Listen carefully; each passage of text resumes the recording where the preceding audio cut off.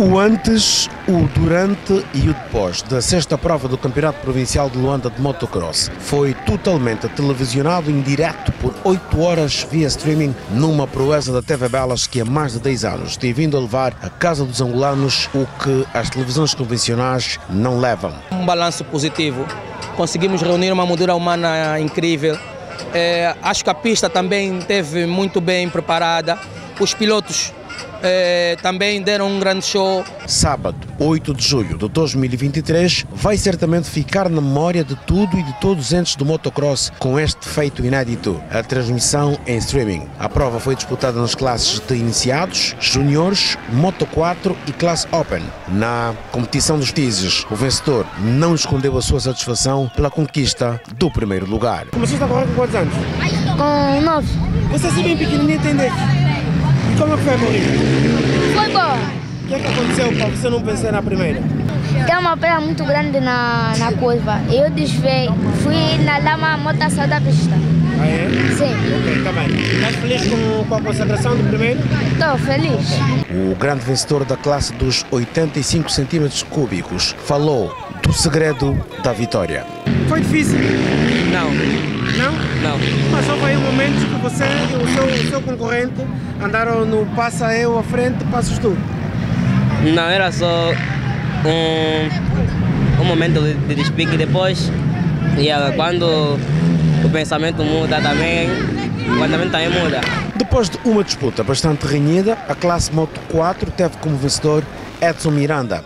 Roquinho, como também é carinhosamente conhecido, apesar de ter saído na segunda posição nas duas mangas, beneficiou do desaire dos principais concorrentes. A primeira foi mais, eh, mais difícil, por quê? Porque era uma disputa de posição, né? que todos os pilotos querem ficar em primeiro lugar, teve mais disputa. A segunda tivemos que gerir, porque a primeira manga, o Fábio Ferreira, como teve um problema técnico na moto, não pontuou, então a segunda manga eu não tinha que me preocupar com ele, porque só tinha que fazer a minha parte, que é para ter os pontos que eu tive, que fiquei em primeiro lugar. A classe Open mostrou por que razão é considerada a rainha nestas leads, pois protagonizou bastante espetáculo desde o princípio ao fim. Fernas Batista não encontrou grande oposição nas duas mangas e conquistou a sexta edição do Campeonato Provincial. O segredo é treinar mesmo e manter a consistência do princípio ao fim. Isso é o que nós estamos a tentar fazer uh, no campeonato de 2023. Acredito que vamos ter um Fernas melhor. Infelizmente, na, na, minha província, não tenho uma pista de motocross para poder treinar. Uh, tenho que fazer uh,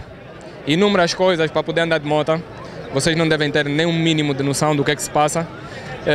mas vamos tentar os possíveis para o Fernas estar bem disposto, com resistência e preparado para enfrentar os outros adversários. Sexta etapa do Campeonato Provincial de Luanda de Motocross aconteceu este sábado no circuito Jorge Varela, ao GAMEC, cuja inovação foi a transmissão em direto durante 8 horas, feito inédito, protagonizado pela TV Belas e que certamente vai ficar nos anais da história do elenco associativo e não só, como confirmou a nossa reportagem Elder Lopes. Foi o ponto mais alto da, da nossa atividade de hoje.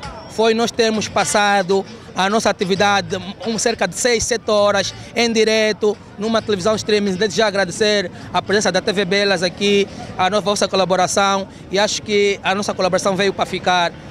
Muito bem, muito bem. Muito, estamos, estamos, sinto-me arrepiado. Pela primeira vez na história do motocross em mais de 45 anos de existência, uma prova foi transmitida em streaming durante 8 horas ininterruptas e com a mais alta qualidade. Refira-se que a próxima etapa do Campeonato Provincial acontece a 12 de agosto do corrente ano. TV Belas, um parceiro emergente do desporto angolano e não só. Você pode ser o próximo. Conheça os nossos serviços. TV Belas, há 10 anos, a crescer com Angola.